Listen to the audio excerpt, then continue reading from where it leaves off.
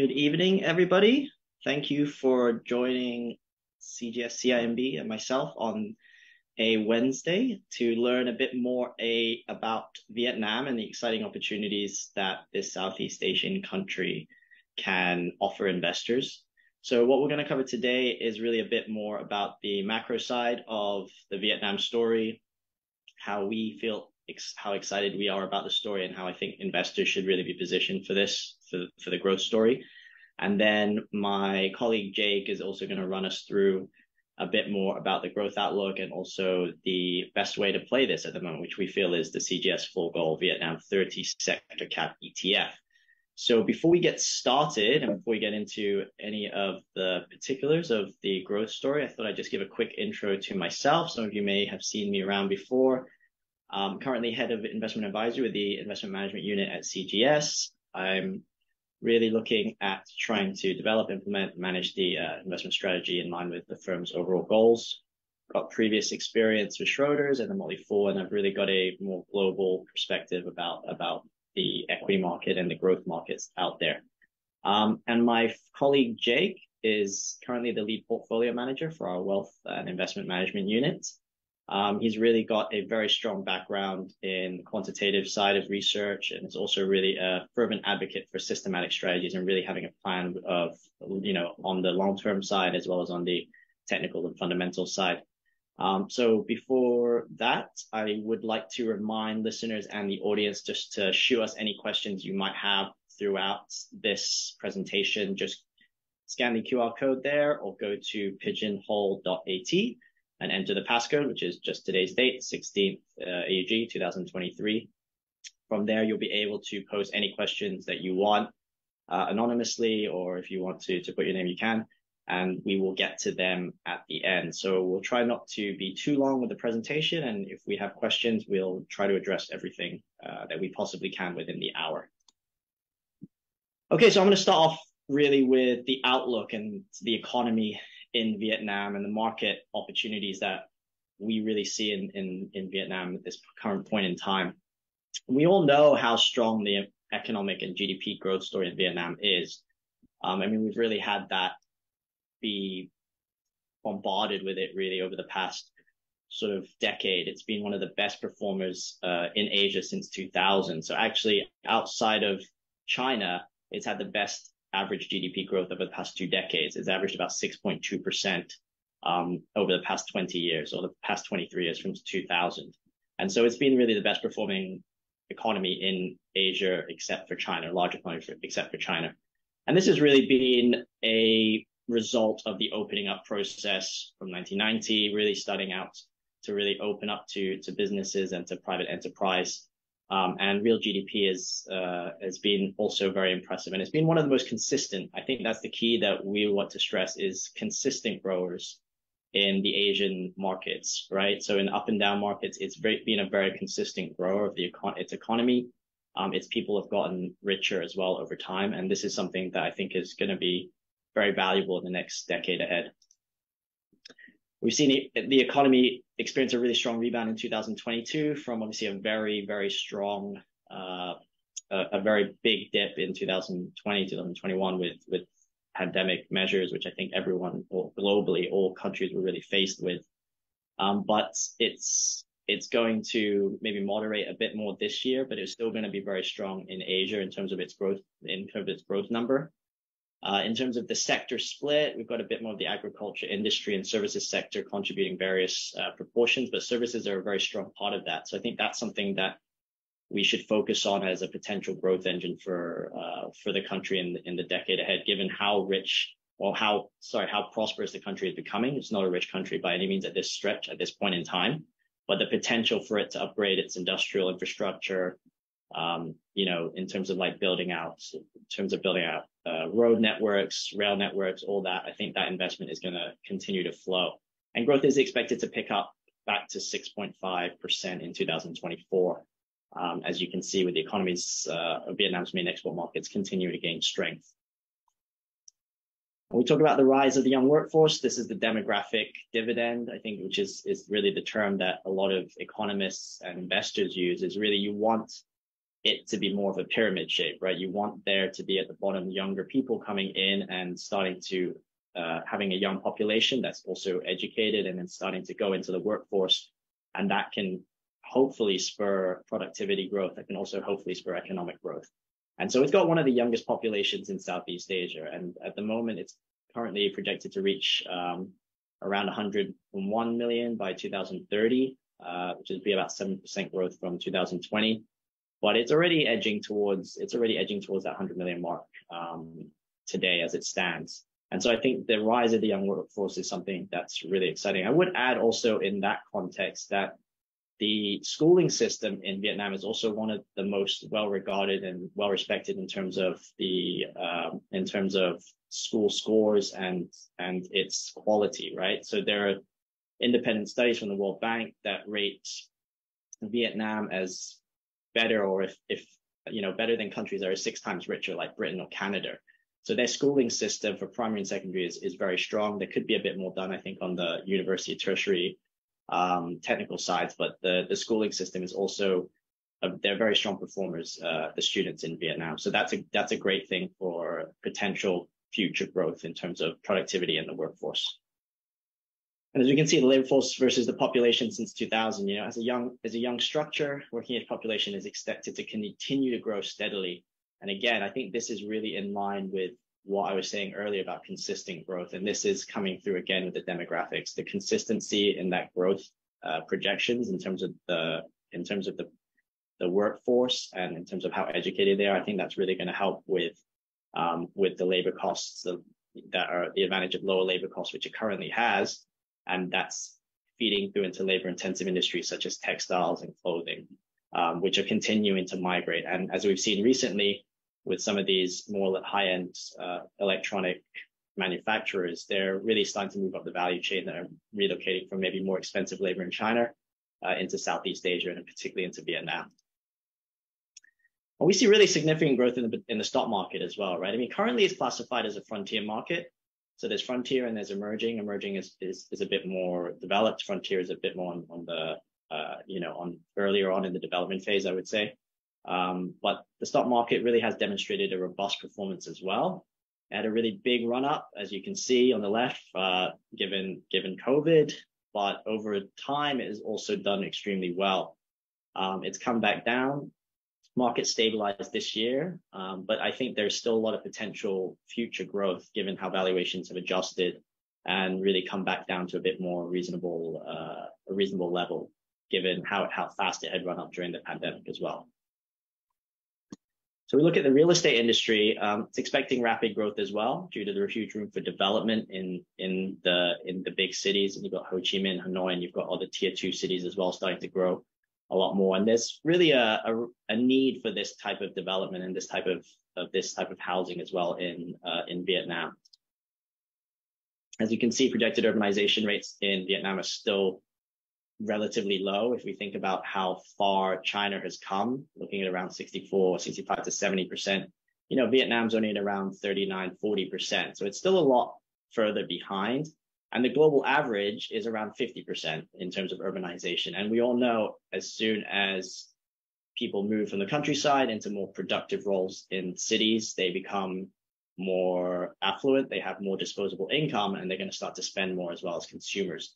So I think these are some of the key factors that we've got to watch out for as well as some maybe the transfer of land use rights that's laid the foundation for some market oriented approaches to to releasing some of this um, demand for real estate that there is there there is given how many people are starting to go towards cities and starting to migrate to cities as well.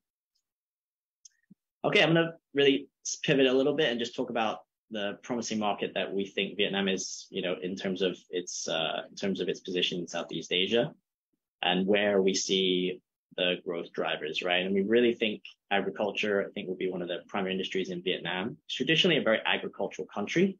And as I said, around rural population is accounting for about 60% of the total. So you've got 40% in cities and 60% really looking at the agricultural side of, of things. And the innovations that are to come, you know, to maintain that position and to grow the industry in Vietnam will continue. And if we think about agriculture more generally, it's still stuck in perhaps the pre-tech age or it's not really moved on. So I think there's a lot of opportunity for the agriculture industry to really innovate, uh, to grow yields, and to, to think about um, to think about innovation in, in the agricultural sense in terms of some of the crops that they're growing. They're a big exporter of rice as well, as we know, within Southeast Asia.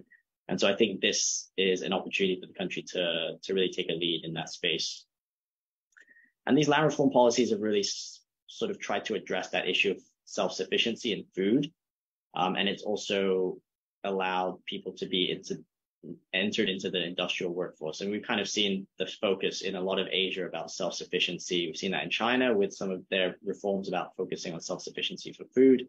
We've seen that in India recently, where they banned the export of rice to focus on domestic demand, and that's that's really taken a hit to the rice price, or that's really boosted the rice price, rather, I would say. But it's also distorted the rice market. So these types of issues, I think, in in in a world which is increasingly becoming more focused on uh, energy security, food security.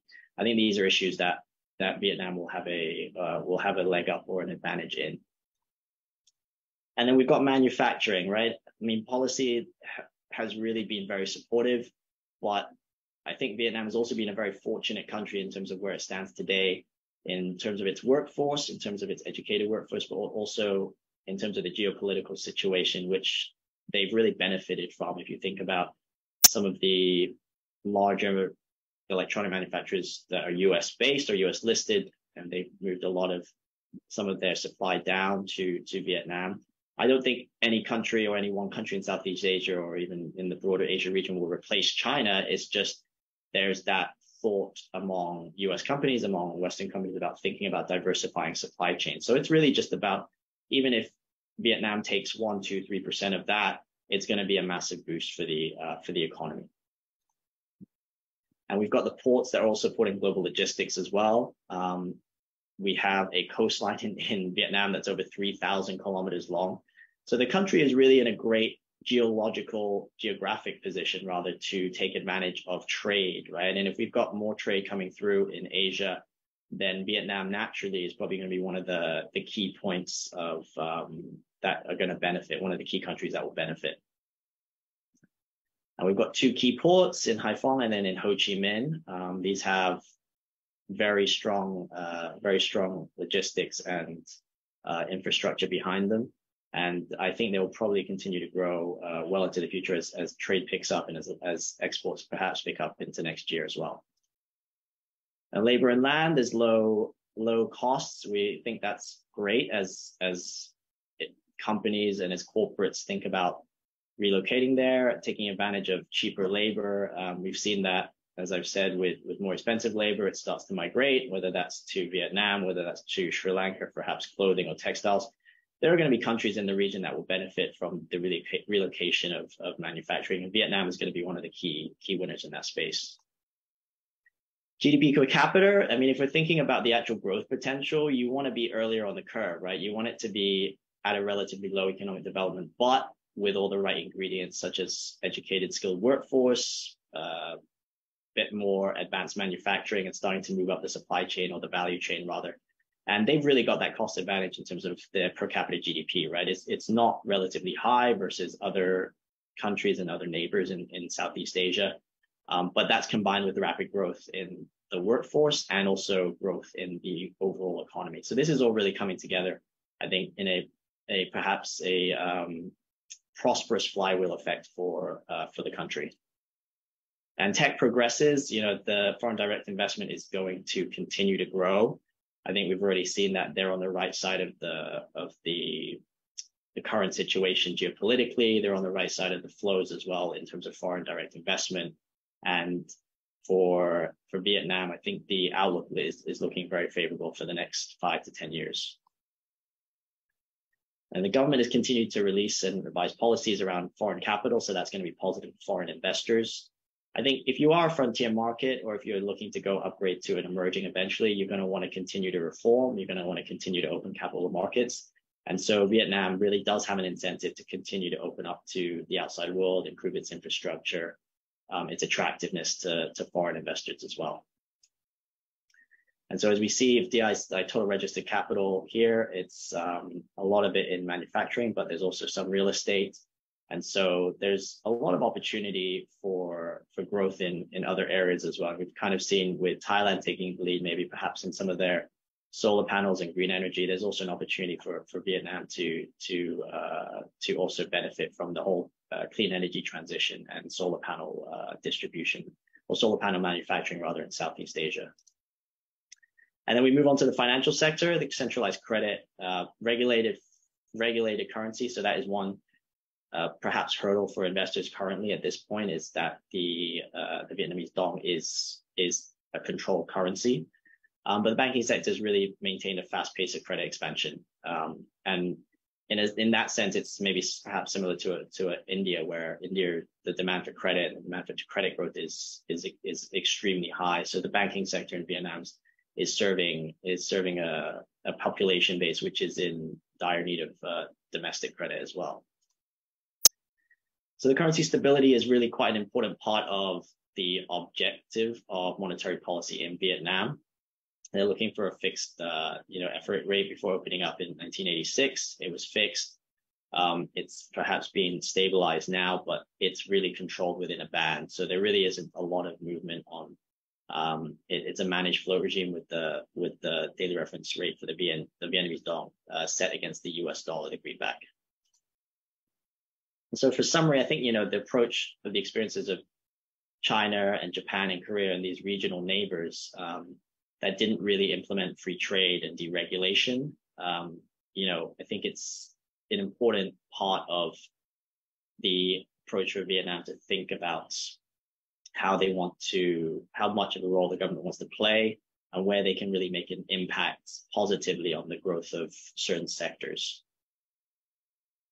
And so the core competitiveness of Vietnam really is, is really fourfold. We've got the robust economic growth and the population dividend, which is key the urbanization benefits a real estate sector, that urbanization, that consumer spending also moving to the cities, the significant growth potential for the stock market as it moves or tries to get more open to foreign investors in the frontier market space and hopefully move up the, the, the curve of the emer- into emerging market later. And then finally, the young, really educated workforce that is favored in manufacturing and perhaps started in more low end textiles, but has started to move up the value chain into higher end electronics. So I'm just going to pass it over here now to my colleague Jake, and Jake will take us through the rapid growth potential, the outlook um, over the short term and the short one to three year outlook, and then also go through the specifics of the CGS Fullgoal uh, sector cap Vietnam ETF. So please, Jake, take it away. Thank you, Tim. Um, so Jake will be sharing his his deck, and I will uh, I will stop sharing mine. There we go.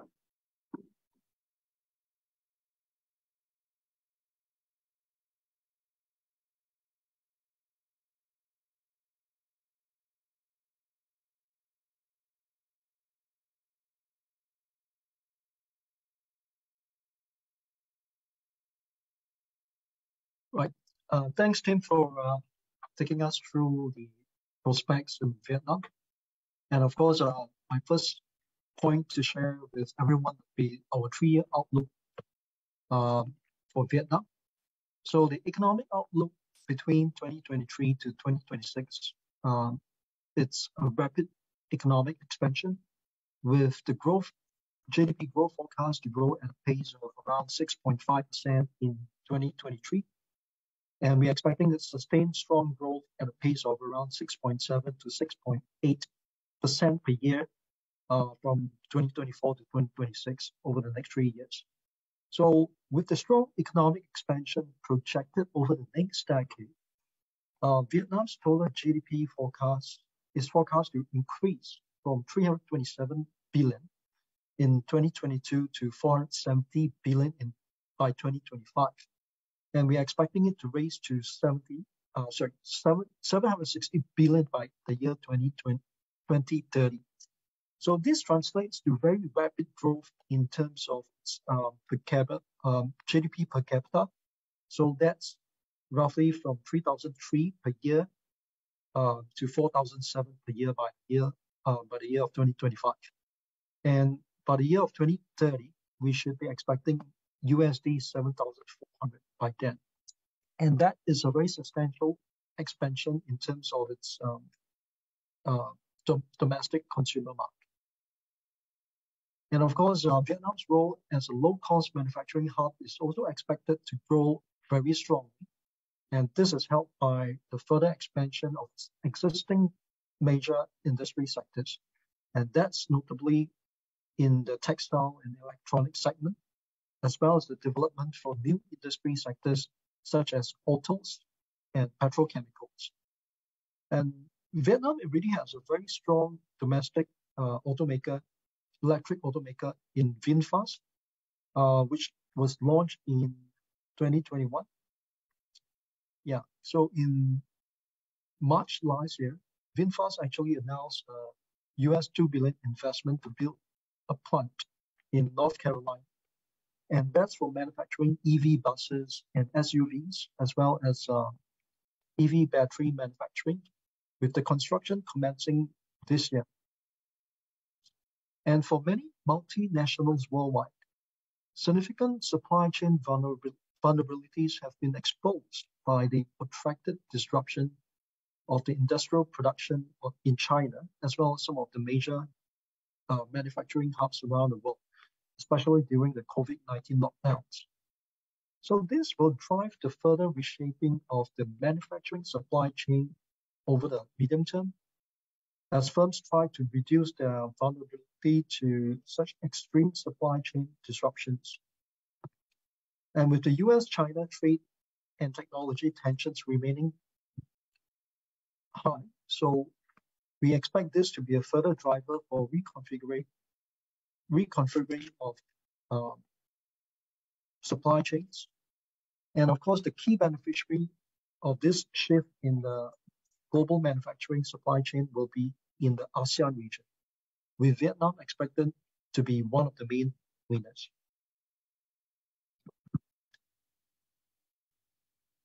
And enough of this uh, expected outlook. I would like to take everyone through some real numbers.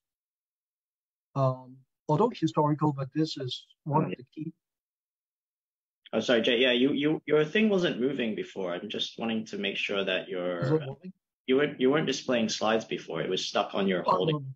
Is it? Uh, yeah.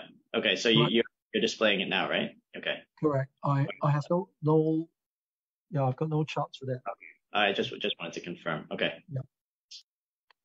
Okay, so on the left um, is a diagram. I've, inten I've intentionally left out the, the names of indices, uh, but basically it has um, it has the six major markets that we're looking at uh, in terms of EPS growth. So this is a monthly chart over the past 10 years. Um, actually, what I've do, what I've done is I've rebased it to 100. Um, so that it, it gives everyone the visual analytics to see which country, which countries or which markets are growing their earnings from a broad market perspective in a very um, smooth or very volatile um, way. And essentially what you see over here is uh, Japan, South Korea, Taiwan, Vietnam, China, and Hong Kong. So I, I just want everyone to take a mental picture of this uh, diagram, chart, whatever you want to call it.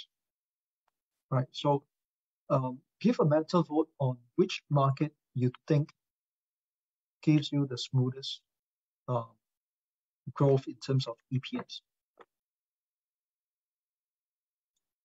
And this is the chart with the legend. Uh, essentially, I'm not making this up. Um, we have uh, the green color line, which you see is the strongest over the past 10 years. And I, I believe everyone would have guessed it is Taiwan. Right. So yes, Taiwan has the strongest EPS growth over the past 10 years amongst the six countries. Now, but of course, it comes with a lot of volatility as well, especially over the past three years, if you look at the diagram. And second is second in place is Japan um, the TOPIX actually has the best, second best EPS growth. Uh, but if, if, if you notice, it tends to have lesser volatility than Taiwan, especially over the past three years. It was more volatile between 2017 to 2020, uh, 2017 to 2020. Um, but over the past three years, it tends to be a bit smoother. And the third place is actually Vietnam, right? So the VN index, uh, which has about 330 odd names, uh, that's a good representation of the broad market, uh, came in third place. And that's the, the um, green line or aqua line over here, right? So um, the fourth is CSI 300 China. Uh, the fifth is actually South Korea, right? You see, you can see that it has very strong growth, but very, very choppy, very volatile. And of course, uh, the last in place is Hong Kong, uh, the HSI index. You can see basically this um, yellow line, it's almost flat, right? Um, you can see this is one of the key drivers for um, equity equity returns, especially um, if let's say all the things we, we spoke about earlier in the session, all the economic growth expectations translating into earnings, into sales, right? So these are the key things that uh, professional investors uh, or fund managers pay attention to, right? Because earnings is the bloodline of, of the corporate growth. Without sales, without earnings growth, there's nothing much to talk about. And this particular model I'd like to share with everyone. It's uh, what I call the relative strength and relative valuation model. So it look it look at two different aspects of the fundamentals and the technicals of a broad market, whether it's a regional index, single country index, the sector, or you can you can apply it simply at the single stock level, right? What this model or this chart is showing you is basically how uh, Vietnam fares in terms of its um, momentum and at the same time its valuations. And for valuations, I'm using very simple stuff like your price to earnings and price to book, uh, which is in your second and third segment over here. Um, maybe use this.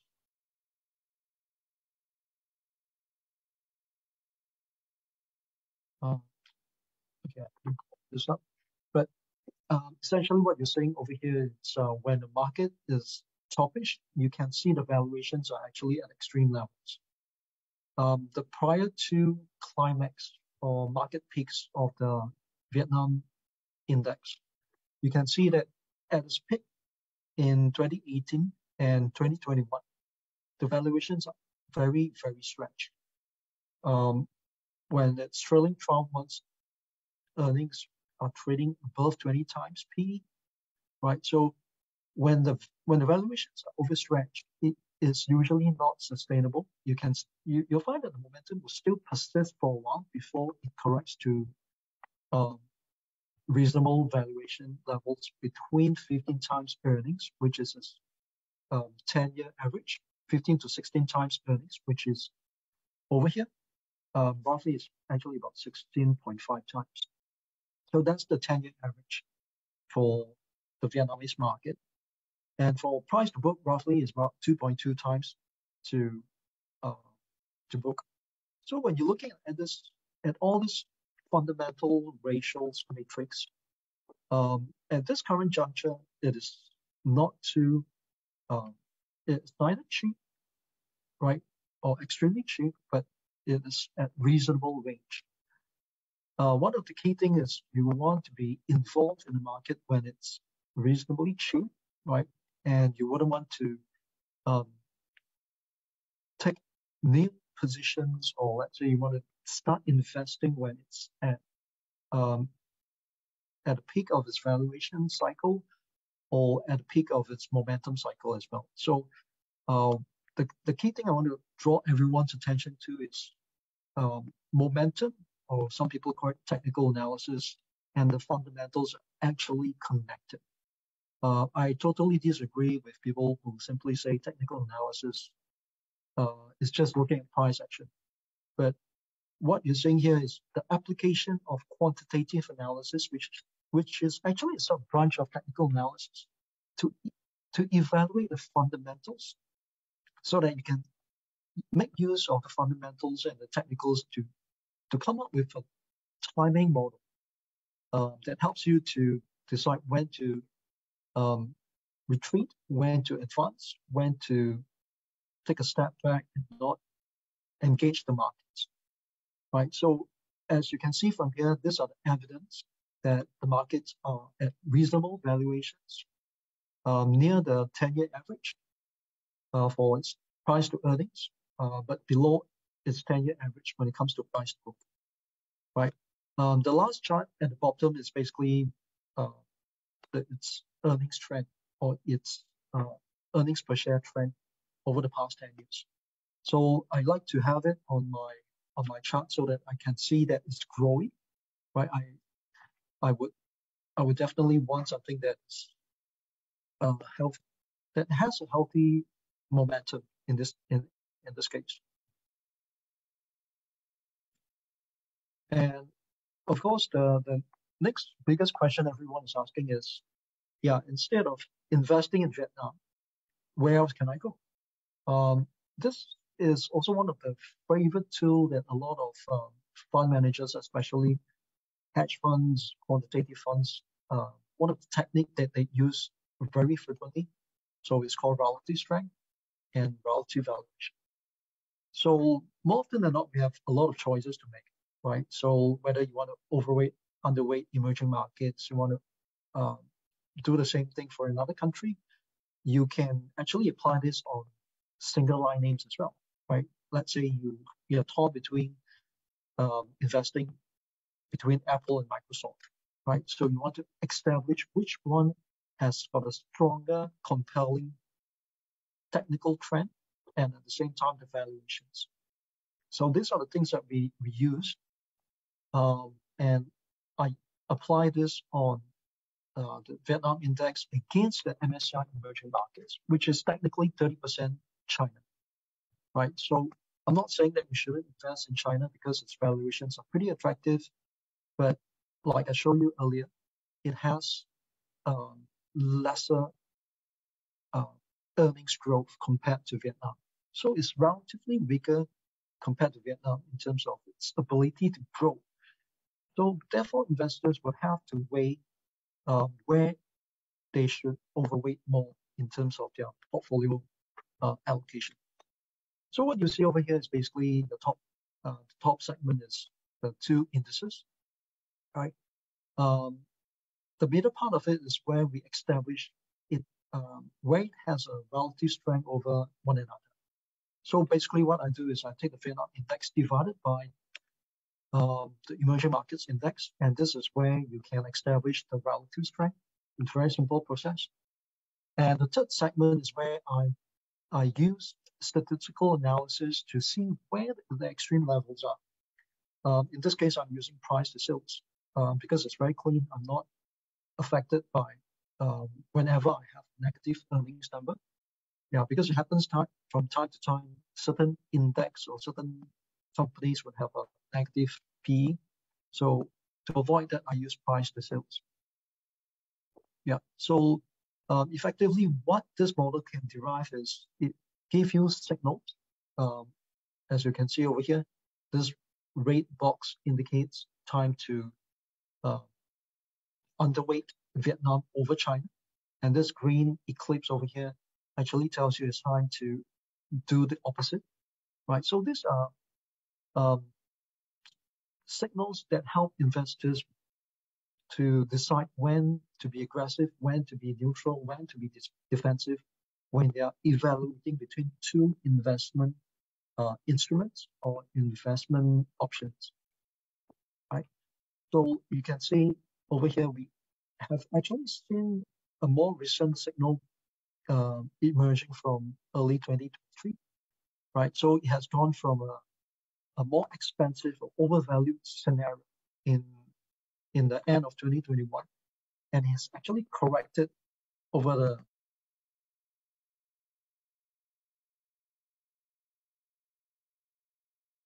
this is basically back to equilibrium or what we call mean reversion. And the trend did not break. It continues to move. Uh, therefore, the thesis for any investors out there to overweight Vietnam over emerging markets is still intact. And I would like to share with everyone um, when it comes to ETF investing, the most common uh, feedback or complaint that we, we have heard from investors is the lack of liquidity. Right. So one of the one of the key um, metric that I always point out to my colleagues and investors is to look at implied liquidity, um, which a, a, lot of investors are overlooking because they simply look at the, the average trading volume or the average traded value um, whenever they are trying to invest or trade ETFs.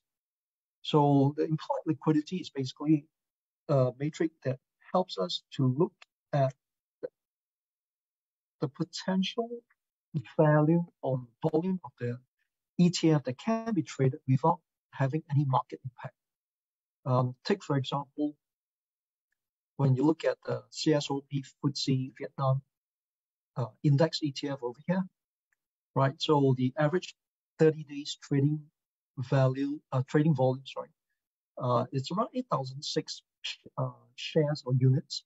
But in actual fact, it can actually trade up to 12 million uh, shares in a day without actually having market impact. Right. So these are some of the things that uh, we need to pay attention to, especially if let's say you are uh, uh, institutional investor or say your family office that that trades in millions. So yeah, this are never a concern if let's say you look at uh, the implied liquidity, right?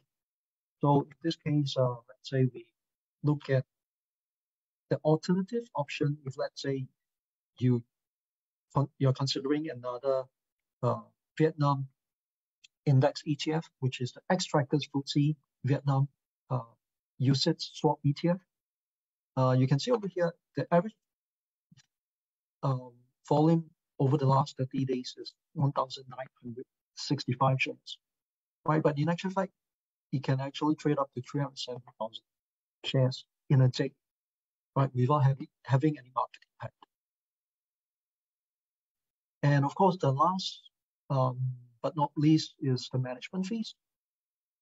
Right, uh, I want to highlight to everyone that uh, within this space, uh, the ETFs that allow investors to have exposure to Vietnam, uh, it ranges from 0.5% to 0.99%, and the total expense ratio is between 0.5% uh, to 1.8% as well.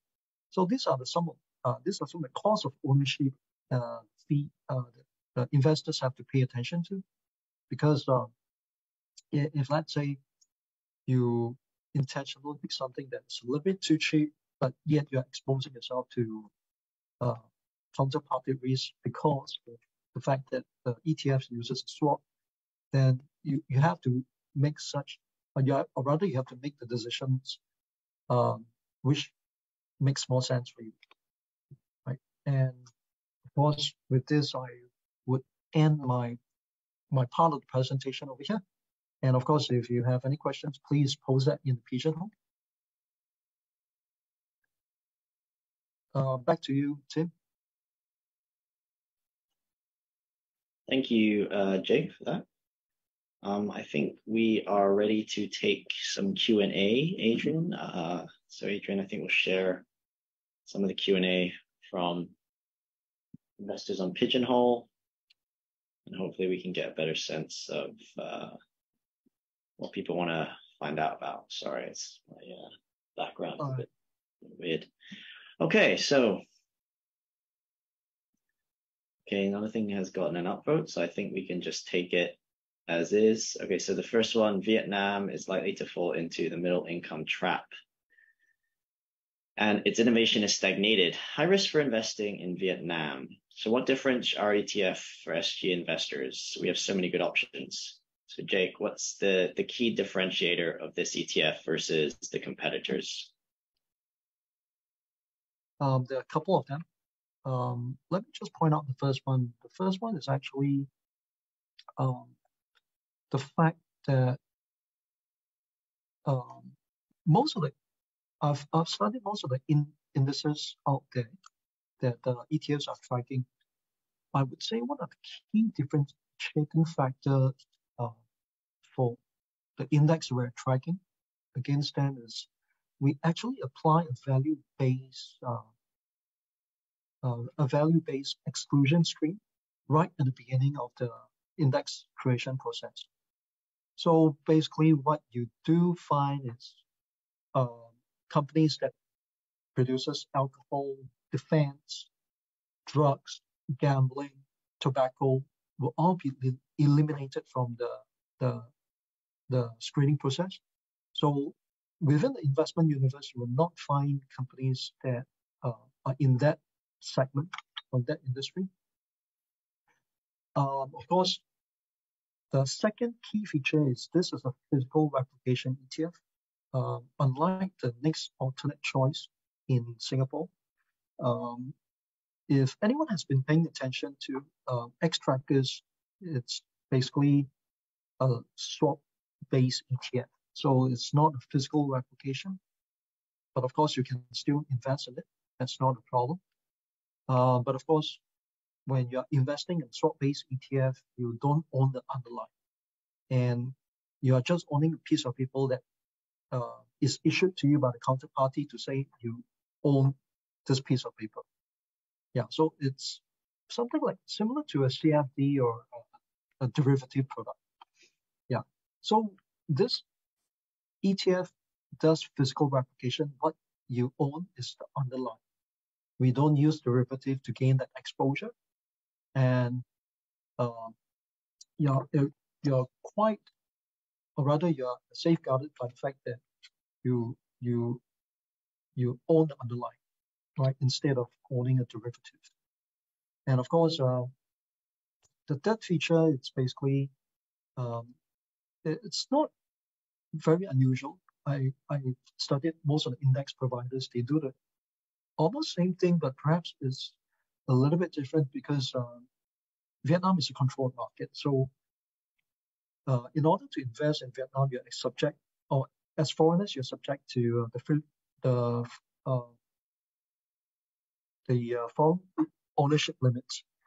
So to account for that, actually in the in the algorithm, we have incorporated um, methods to exclude or to account for the foreign limit. So in this case, um, when the index algorithm is constructed, it um, actually exclude or it underweights um, companies that has a very high, uh, sorry, a very low uh, limits at that point in time. Yeah, so uh, that actually gave us a better, better sense and tradability when it comes to um, constructing and navigating how we move into the markets. Um, because at some point, if let's say you never account for that, they, there could be uh, what we call the uh, the limit. Uh, okay, a proper term for that is the the head weight the headroom limit. Yeah, so when when we're trading the markets, we, we need to account for that. So um, when anyone who does that in the index calculation would avoid uh, running into that kind of scenario where you couldn't get uh, liquidity on, on the names that you want to invest. Now, of course, the next um, differentiating factor between some of the products out there would be uh, we cap single line names to 10%. That means we will not invest in a single line stock uh, at 10% during the point of rebalancing. And also we cap the sector weights to 25%. So this two double layer is to mitigate risk or over concentration in a particular name or a particular sector. And uh, some products have it, some products don't. So we're trying to play some differentiation game here. And I think the last the last differentiating factor I can think of right now it's um, this ETF that we are we are launching uh, rebalance only twice a year instead of four times a year, compared to some of the peers. Of course, not all peers rebalance four times a year. Um, the point of rebalancing twice a year is to reduce the turnover so that we don't incur additional or excessive trading costs. And by doing that, if it doesn't sacrifice performance, it's a good balance to reduce costs and at the same time uh, give you the relevant or the respective returns that you should be uh, getting. So uh, I okay. hope that Great. yeah that helps. Thank you. Yep. Um, okay, I think we can move on to the questions. Okay. Um, your ETFs. Okay, which country do you think will have a bigger growth, India or Vietnam? Um, I guess I could quickly answer that. Um, I think they're both uh, very strong and very exciting growth stories in their own ways. I think India is a bit more on a different scale just because of the size of the population and also its GDP per capita and its educated workforce and, and things like that. It's got a massive consumer market though. So there's a lot of innovation uh, going on in India, but similarly to, to Vietnam and, you know, India's local stock market is a bit more prohibitive to access for anyone who's not an Indian resident or an Indian national, um, rather. So it's it's difficult, but there's that similarity. I think in terms of the bigger growth, they wouldn't. It, it's probably either or, like you know, half six of one or half a dozen of the other. I think if you have exposure to both markets over the next decade, you'll probably do. Um, it will probably be a, a relatively uh, supportive growth backdrop, I think, for both countries because they're benefiting in their own ways from the shift uh, or the geopolitical winds and also the shift away from China for manufacturing. So we've kind of seen that with a lot of the manufacturers in the US moving some of their production, Apple, for example, into India, but Apple also has started to make uh, AirPod Pros and, and other products in Vietnam as well. Um, so I think they're both going to benefit in their own ways. I wouldn't say there's got to be just one big winner. Um, that's how I would, I would look at it. Um, next question. Okay, your ETF's tracking index has quite a high concentration in financials and the real estate sectors. Okay, so over 57%.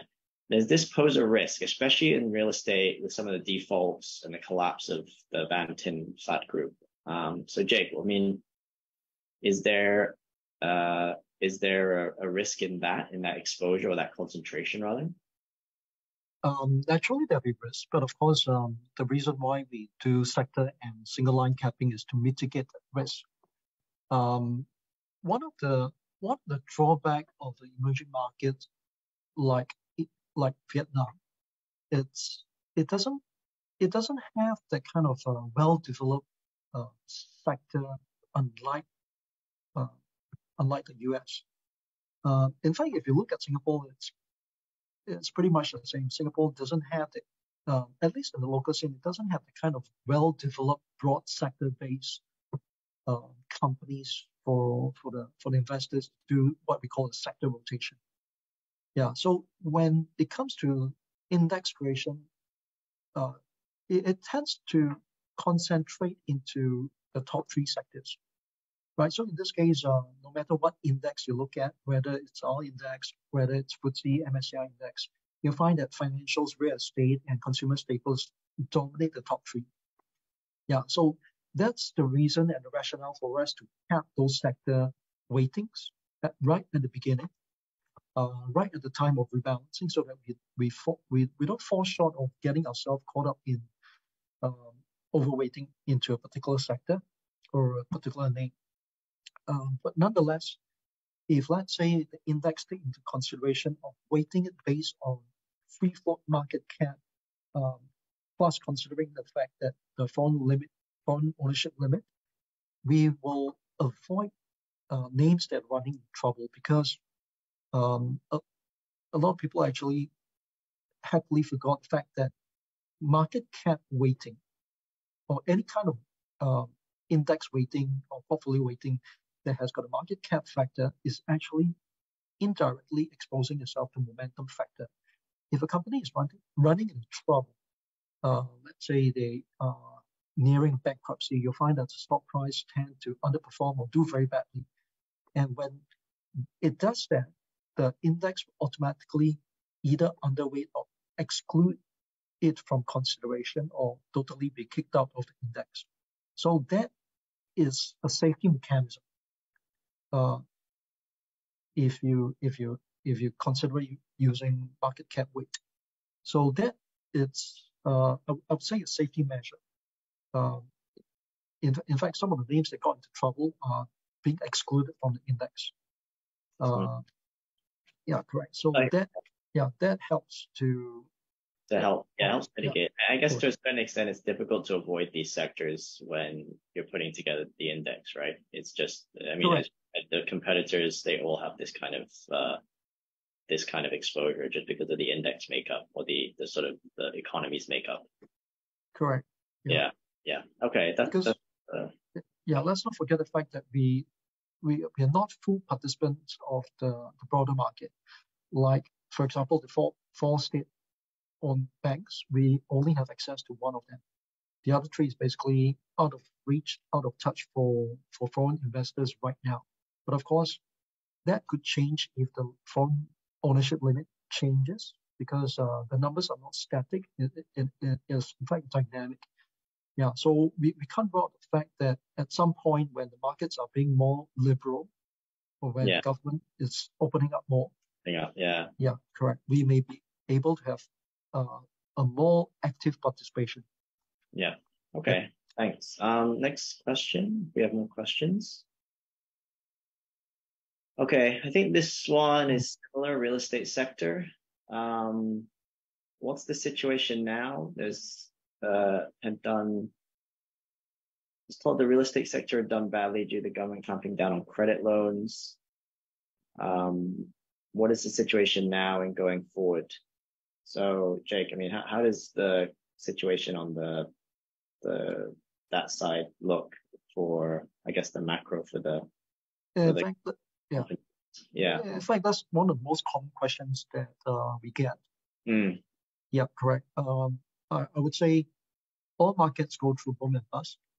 Um, the same goes for China, Vietnam, or any any countries that emerging, especially emerging countries or hmm. developing mm. countries, uh, because the, the policies and regulations are not as well formulated or developed, unlike uh, you know, countries who have been dealing with those problems. Um, naturally, every crisis presents an opportunity. Yeah. If you look back at the historical uh, banking crisis in, in the U.S., in fact, over the past century, they have more than a hundred. Oh, sorry, the past two centuries, they have more than a hundred. Yeah. So, um, of course, not every crisis or not every bubble is equal. Uh, is equal, right? They tend to be a bit more uh, wide ranging from more serious like the GFC or mm. to more subtle kind of like bubble or crisis, if you want to call it. But nonetheless, it's actually one, uh, it's a natural phenomenon that markets actually it's uh, going to self-correct or discount the weaker ones or eliminate the weaker ones and, and let the strongest of the stronger players survive. Yeah. So yeah, it's a natural mechanism to to bring it back to equilibrium, right? In fact, it's basically what we has what we have studied in, in, in school, right? Yeah. Your demand supply distortion. Yeah. So you actually at some point you will find that equilibrium. Uh, it's painful, right? The process is always painful, but uh, as investors, we are we are paid to to bear that, that risk. Yeah. yeah. So opportunity amid yeah. a crisis, right? There's always going to be right. Yeah. Correct. So there's no free lunch. Um, um, in fact, the market reward us by bearing that risk. Uh, of course, the, the, the next question is, what is the risk that, that you should bear, right? So everyone is different. Mm. Um, I, I, would say, as as a logical or a, a more quantitative investor, we, we, we look at the numbers. Yeah. Yeah. Okay.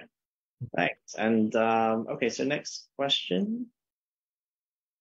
Okay, Vietnam benefits from the China plus one strategy, but India is gearing up and likely to take up large shares as it has many advantages in workforce for being a democracy, etc. How can Vietnam step up? Um, okay, well, I think again we've got this comparison with India, which I I I, I fully understand. Uh, it's a very relatable comparison because of maybe their potential rivalries with, with India and India and China, and then Vietnam and China, and the benefits for India and Vietnam as uh, I guess, alternative manufacturing bases to China, the China plus one strategy. I think India is very different in the sense that it is not as educated. The workforce is not as educated. The education system in India is still, you know, appalling. I think there's some stats out there about how only half of teachers show up in, in public schools and, uh, you know, kids, uh, scorings and, and on math, science and, and other, uh, basic subjects is still really far down the, the global league tables. So India has a lot to do. Obviously, India is a massive population and there are lots of other areas where it's going to excel. But in terms of the workforce and the educated workforce and, and the, the poverty that's still there and the, the malnutrition and all these other issues that they're having to deal with, it's just such a massive population. There's still a there's still a huge job for India to do to lift that that population up into more prosperity. So Vietnam is not by any means rich, as I said previously, but it's doing better in terms of its GDP per capita and in terms of its uh, providing for its educated workforce. Um, I'd say one area that both are probably trying to get into is, is solar power in, in terms of renewable energy. Vietnam has really stepped up in terms of producing uh, solar solar power from from it within Vietnam. Um, so nowadays, I think it went from basically 0% solar power generation as a, as a percentage of electricity generated in 2017. It went up to 11% as of 2021. Um, and as of, you know, that year of 2021, it was the world's 10th largest uh, solar producer in the world, Vietnam. So that's one little fact that probably a lot of people aren't aware of. So there are areas where the government is working to deregulate, you know, de I guess, cut red tape in certain sectors like power, because these are maybe more strategic sectors that are traditionally seen as as more important to national security or or you know that they're, they're favored as as state-run monopolies in a lot of countries. But Vietnam's shown a willingness to to reform a few of these areas. The monopoly for Vietnam electricity had had kind of been cut off, and so there's a bit more competition in the sector. Um, and so India is something that we forget was very socialist in terms of its system pre 1990. Really, really only started to become and open up to private business in other areas in 90 in the early 90s, right? So there's still a lot of state involvement in India as well. Um, so I would say that from that perspective, there's a lot of work to do for for India. But I think Vietnam can take a step up with its ports, you know, it, the infrastructure is probably going to be better than India. I think the infrastructure is, is already there or it's, it's at a much more developed phase than India's. Um, and also its a workforce, as I said, it's a young population, but it doesn't have the scale. That's something we have to acknowledge that India has that scale in terms of the population. Um, and in terms of the, uh, in terms of just the, spending power, maybe potentially in the future, but both, both countries, as I said, will will will benefit. And I think Vietnam can step up as being a really a, a really strong export powerhouse for uh, for brands, both perhaps within uh, the US and also Europe. So I think it has its own unique advantages. Um, next question.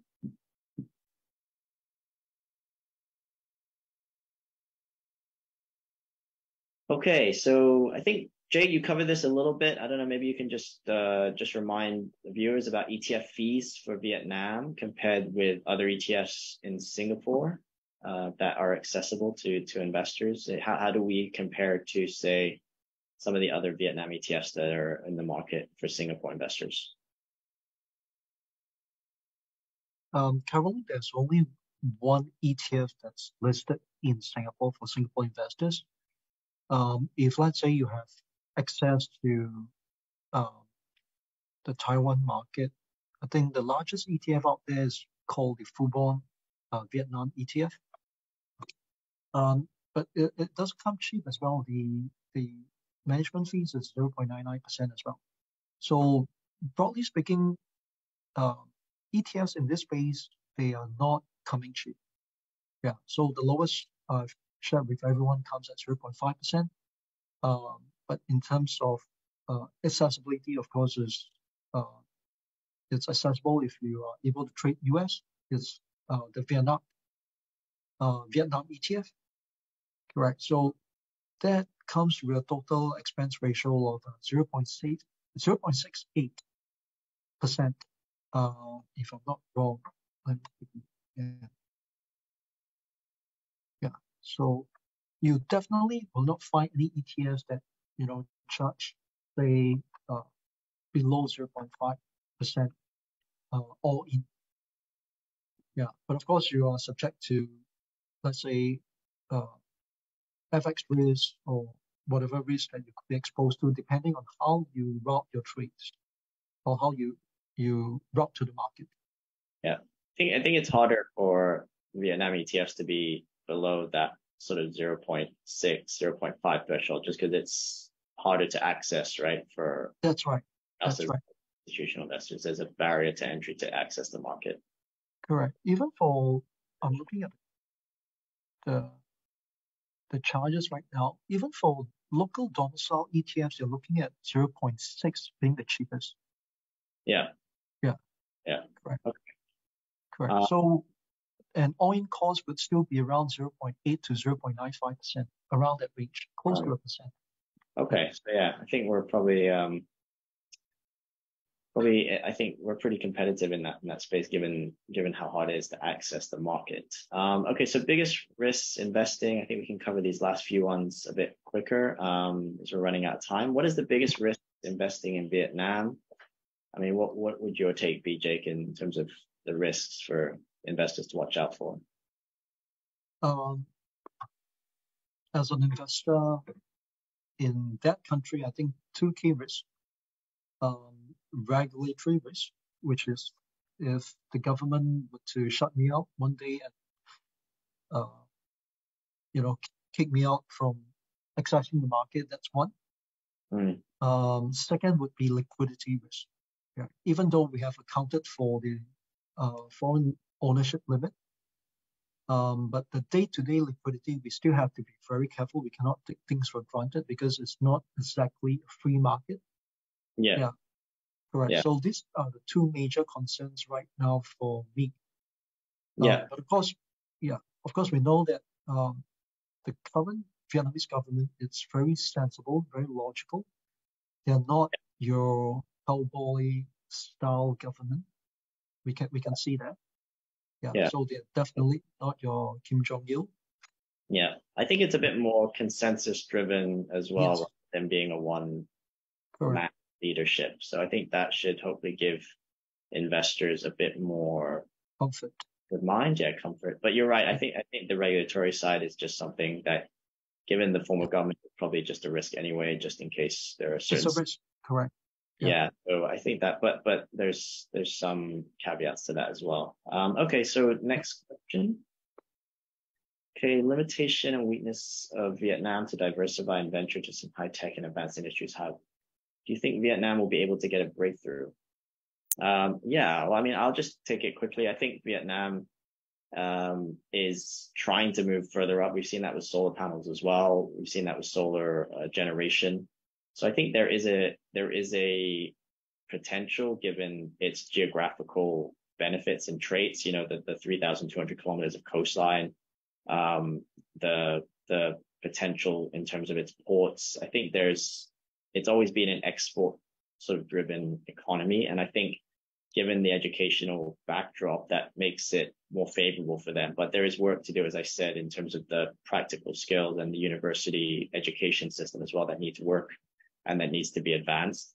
But there's no reason why they couldn't benefit in this region given their uh, given their advantages. Um, Jake, I don't know if you have anything to add on that. Um, yeah, in fact, I agree because um, we, we, we can see that the Vietnamese government actually is very intelligent. And they, they have learned from the Chinese. They have, in fact, they, they're learning very closely from Singapore way of developing the, the industrialization process. Uh, naturally, they will move up the value chain. It's part of the plan if you can see what they've been doing right now. Mm. Um, of course, yeah, the, the, the tailwind is definitely the focus on, on education.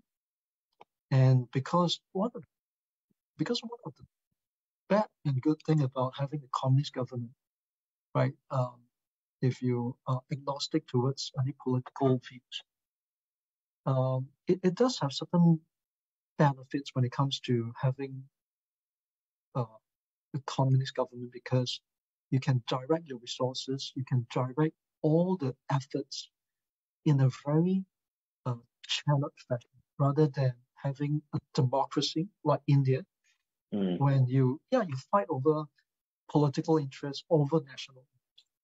Yeah. Yeah.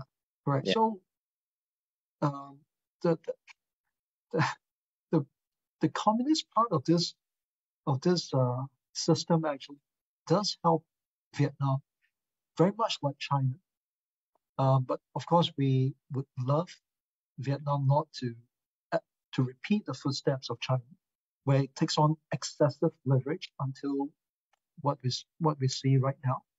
It's yeah. a bit harder for, for China to clean clean up their their acts. Uh, it will take some time, but the pain is there. Yeah. yeah but Definitely. Um, no, that's a good point. That's a good point. I think I think you you hit the nail on the head there. Um, okay, so next next question. Can we? I think we final question. All right, Singapore has surpassed South Korea to become the biggest source of FDI for Vietnam, but with high concentration on a few industries, which shows it shows the limitation and weakness of Vietnam to diversify. Um, I think I guess this is some more maybe perhaps more of a statement, but alludes to the the the, the concentration with with perhaps the sectors and the, the, the, moving up the value chain. I would just say that, as Jake pointed out, you know, it takes time to to for the manufacturing base and for also the the workforce to move up the value chain. I mean, we've seen that from say 10 years ago, 15 years ago with clothing and low end textiles and starting to move into I, you know, we have the manufacturing of, of watches and, and AirPod Pros and other electronics in in um, in Vietnam now, and there's Dell and HP and talk about setting up uh, production plants there, and Foxconn thinking about setting up production plants as well. So I think it is moving up the value chain. It just takes time, and to retool the workforce as well is going to take a bit more time. So there are opportunities that emerge, and I think they have the wherewithal and the educated workforce and and the infrastructure that's emerging, but not not great, but it's the infrastructure there to to take advantage. And remember that Vietnam again is is just one landmass, perhaps similar to Thailand. That might be a benefit versus a, a archipelago like Indonesia, which is very sprawled out with many islands, and same with the Philippines. I think Vietnam really benefits from its uh, geographic location as well. So I think there's opportunity, and there just has to be more um, a bit more of a maybe push, as, as Jake said, in certain sectors for the government. But they're, they're working on that. Um, Jake, do you have anything else to add? Um, as an investor, I like to spread my bets. I, I, I don't expect to find a perfect country to invest in. I don't expect to find a perfect uh, market to invest in. Every market is unique. Um, take Korea, for example. They, they have certain sectors which they are very strong in, but at the same time, it is equally volatile because of its uh, if its openness, right, in that sense, and also because of its uh, political uh, environment. Yeah. Yeah. So yeah. correct. So we, we have to weigh how much to allocate to different countries, different regions. Yeah. So this is constantly at the back of our mind when when it comes to being capital allocators.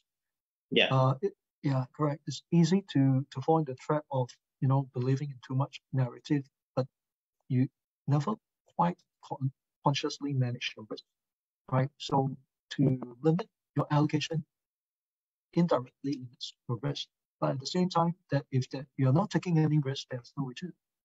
Yeah, yeah. you gotta have some exposure and a bit of risk to get more of the reward right? So I, I, yeah, that's a good point. I think a lot of the countries are very unique. Every every country in Asia has just got a unique proposition and growth story. I think it just is whether that growth story fits in with your investment philosophy and your portfolio allocation. Yeah. Yeah. Okay, great. Uh, thanks, Jake, and thank you everybody for joining us. And thank you everyone. Please do, you know, uh, join us in future for any other webinars we may have. And uh, everyone have a good evening. Thank you for joining us. Good night. Thank you. Bye.